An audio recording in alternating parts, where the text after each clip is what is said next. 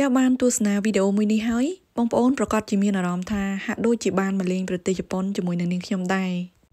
ចានេះគឺជាទេសភាពដ៏ស្រស់ស្អាតនារដូវស្លឹកឈើជ្រុះនៅក្នុងប្រទេសជប៉ុនណាបងប្អូនចាមានស្លឹកឈើជាច្រើននឹងចាប់ផ្ដើមប្រែពណ៌ហើយគេចូលចិត្តទៅទស្សនានៅតំបន់ភ្នំស្អាតមែនទែនចាជម្រាបសួរបងប្អូនទាំងអស់គ្នាថ្ងៃនេះជួបគ្នាជាមួយនឹងនាងខ្ញុំលក្ខណានៅប្រទេសជប៉ុនចាឥឡូវនេះយើងបានមកដល់កន្លែងទេសចរមួយកន្លែងហើយ ចាថ្ងៃនេះនាងខ្ញុំអញ្ជើញបងប្អូនមកដើរលេងជាមួយគ្នាហើយនេះគឺជាកន្លែងចតឡាន ចាកលេចមកខាងនេះគឺមានដើមសាគូរ៉ាដែលជ្រុះស្លឹកបងប្អូន ចានេះគេហៅថា Shidare Sakura ចាពេលផ្ការីកមកនៅខែ4គឺស្រស់ស្អាតខ្លាំងមែនទែនចាបើសិនជាបងប្អូនមានឱកាសមកដើរលេងជាមួយនឹងខ្ញុំចាធានាថាមិនខ្វះរូបថតទេ ចានឹងខ្ញុំចូលចិត្តថតរូបឲ្យមែនទែនណាបងប្អូនចាប្លង់កន្លែងនេះស្រស់ស្អាតណាស់បងប្អូនអើយដាក់មកប៉ុសសិន ចាខែនេះជនជាតិជប៉ុនហ្នឹងគាត់ចូលចិត្តមកមើលដើមម៉ូមីជីចាប្រែពណ៌ទៅជាស្លឹកពណ៌ក្រហមស្អាតចេះឯងចានៅប្រទេសជប៉ុននេះគឺមាន4រដូវបងប្អូនចាគឺរដូវផ្ការីករដូវក្តៅរដូវស្លឹកឈើជ្រុះនេះឯងហើយនិងរដូវរងានៅខាងមុខចាបាំងតែមួយខែទៀតនឹងចូលដល់រដូវរងាហើយប៉ុន្តែឥឡូវនេះគឺស្លឹកឈើចាប់ផ្ដើមប្រែពណ៌អញ្ចឹងឯង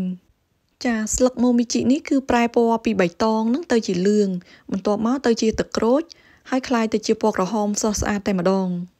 ចានេះដោយសារតែអាកាសធាតុនឹងចាប់ផ្ដើមចុះត្រជាក់ចាពីមួយថ្ងៃទៅមួយថ្ងៃចឹងហើយស្លឹកឈើនឹងចាប់ផ្ដើមប្រែពណ៌តែម្ដងពិសេសមែនតើណាបងប្អូនអើយចាកាលណាស្លឹកឈើប្រែជាក្រហមចេះចាគេត្រូវតែប្រញាប់ទៅមើលបងប្អូនអើយបើសិនជាមើលមិនតាន់ចាភ្លៀងតែមួយមេពីរមកជ្រុះអស់លីងហ្មងចាឥឡូវនេះស្វាមីនាងខ្ញុំគាត់កំពុងតែរកមើលស្លឹកឈើពណ៌ក្រហមដែលមានឆែកឆែកនឹងចំនួន7 ចាធម្មតាមានឆែកតែ5ទេបើសិនជាយើងរកឃើញ7ចឹងដូចថា lucky 7ណាបងប្អូនចាអ្នកខ្លះគេចូលចិត្តមកថតរូបចេះឯងចារើសស្លឹកឈើពណ៌ក្រហមឬក៏បេះយកមកដាក់ថតនឹងដៃចាស្រស់ស្រាយប្លែកមែនទែនចាមើលស្វាមីនាងខ្ញុំគាត់កាន់ចាល្អសោចមែនទែន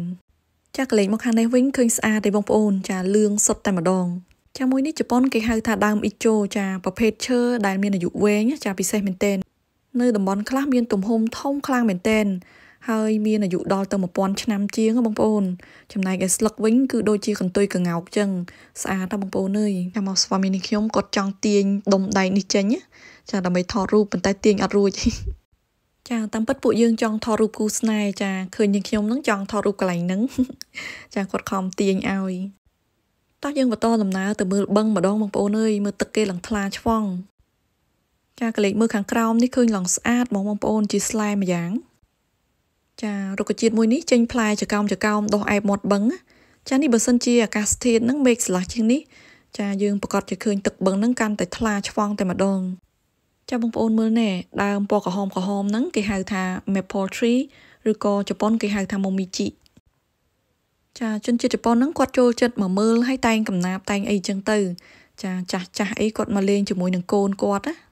ចាបងប្អូនកលេចមកខាងនេះស្លឹកឈើក្រាលឡើងពេញដី ចាស្អាតមែនតែនហ្មង ចានេះយើងដើររកកន្លែងថតរូបដែរចាក្រាលអញ្ចេះចាដើរមកចេះទៅអូយប្លង់នេះស្អាតខ្លាំងមែនតែនតើបងប្អូនដាក់មកប៉ោះអីចានេះស្អាតខ្លាំងណាបងប្អូនអើយនេះចាពណ៌ក្រហមពណ៌លឿងពណ៌បៃតងលាយចូលគ្នាតែម្ដងចាតាមពិតទៅបឹងនេះគឺជាបឹងដែលហូរមកពីទឹកជ្រោះ ចាទឹកទាំងអស់ហ្នឹងគឺជាទឹកជ្រោះចាតាមចលងខាងលើហ្នឹងមកចាបងប្អូនកលេចភ្នែកឡើងទៅខាងលើវិញណាចានេះឃើញពណ៌ក្រហមពណ៌លឿងពណ៌ទឹកក្រូចចាស្រស់ស្អាតខ្លាំងមែនតែនចានេះខ្ញុំចូលចិត្តគយគុណអញ្ចឹង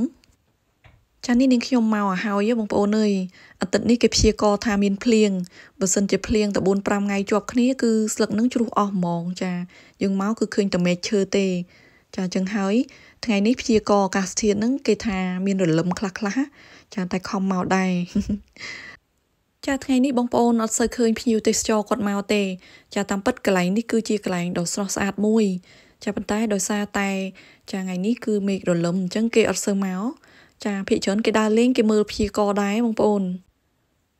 ចាហើយនៅស្រុកជប៉ុននេះគឺមានកន្លែងដើរលេងច្រើនមែនតែនអញ្ចឹងប្រហែលជាភ្ញៀវគាត់ចន្លោះកន្លែងនេះមួយ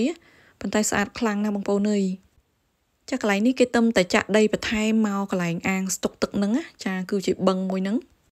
ចាកន្លែងមកឃើញថ្មគេទប់ច្រាំងហ្នឹងបងប្អូនចាមូលមូលប៉ោងប៉ោងគួរឲ្យស្រឡាញ់មែនតែនចានេះគឺជាផ្លូវដើរចាយើងដើរមើលទេសភាពជុំវិញហ្នឹងហើយភ្នំទាំងអស់ហ្នឹងមើលអញ្ចឹងទៅដូចជាផ្កាថ្មនៅក្នុងបាតសមុទ្រអញ្ចឹងណាចាស្រស់ស្អាតខ្លាំងណាស់ហើយភ្នំហ្នឹងអត់សូវខ្ពស់ទៀតបងប្អូនចាទៀបទៀបល្មមដែរចាម្ដុំម្ដុំអញ្ចឹងទៅ ចាពួកយើងមកមើលទេសភាពថ្ងៃនេះគឺសប្បាយចិត្តខ្លាំងមែនទែនណាបងប្អូនចាមានន័យថាយើងមកមើលតន់ចាឆ្នាំខ្លះទៅយើងមកមើលអត់តន់ក្រហមអត់តន់លឿងអីទេចាំពេលខ្លះចាយើងមកមើលរៀងយឺតទៅជ្រុះអស់លីងចាអញ្ចឹងហើយពិបាកមែនតើណាបងប្អូន ចាសម្រាប់ដំណើរកំសាន្តនៅរដូវស្លឹកឈើជ្រុះនេះគឺពឹងផ្អែកទាំងស្រុងទៅលើអាកាសធាតុចាបើចុះត្រជាក់លឿនទៅឆាប់ក្រហមចាបើសិនជាអត់សូវត្រជាក់ទេចាស្លឹកឈើហ្នឹងគឺ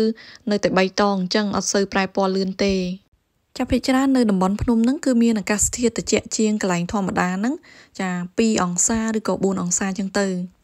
ចាបើមកតំបន់ភ្នំចេះគឺបងប្អូនអាចឃើញស្លឹកឈើពណ៌ក្រហមហ្នឹងច្រើនជាង